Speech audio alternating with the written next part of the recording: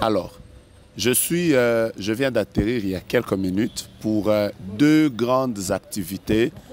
La première euh, qui va se passer à Colosie, c'est la visitation divine qui va terminer ce samedi.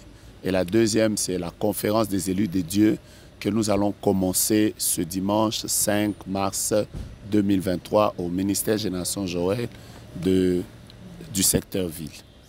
Alors, puisque vous êtes là d'abord à Lubumbashi pour euh, la conférence des élus de Dieu, alors que doit-on retenir de votre passage concernant la septième édition de cette conférence?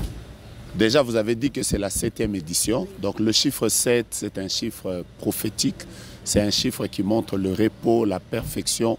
Nous croyons que les élus de Dieu qui seront à Lubumbashi vont... Euh, vivre la bénédiction du Seigneur, surtout que nous sommes en train de partager un thème extraordinaire. Nous voulons les demander à venir vraiment massivement parce que le ciel sera très ouvert. Que Dieu vous bénisse. Merci. Amen. Bienvenue. Bienvenue.